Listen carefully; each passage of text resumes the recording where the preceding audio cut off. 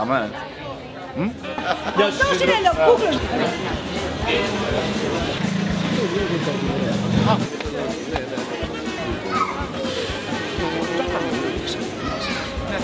Καλά είμαστε πόσους... Ε... Ναι. Περιμένετε μισό λεπτάκι. Και εγώ έχω μια μάνα και δεν με βλέπει η μάνα.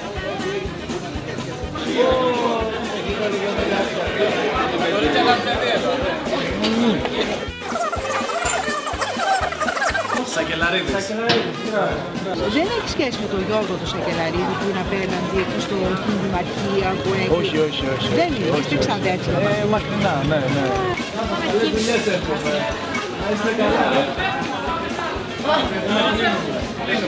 Αισιοδοξία μας.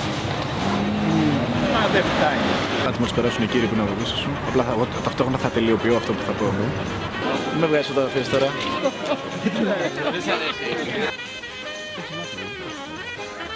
Βλέπω ένα πράγμα από πίσω, ένα τύπο με ένα μάτι.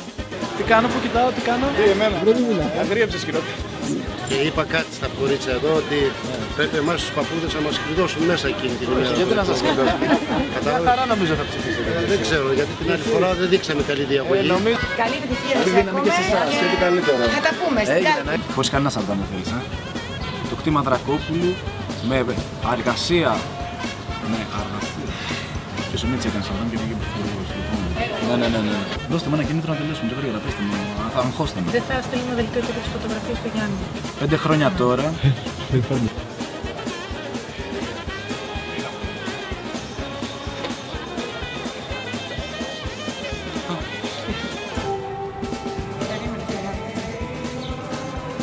Φιλοδοξούμε να έχουμε μια πολύ καλή σχέση συνεννόησης και συνεργασίας με τα ζώα, τα σκιουράκια και τα παπαγαλάκια.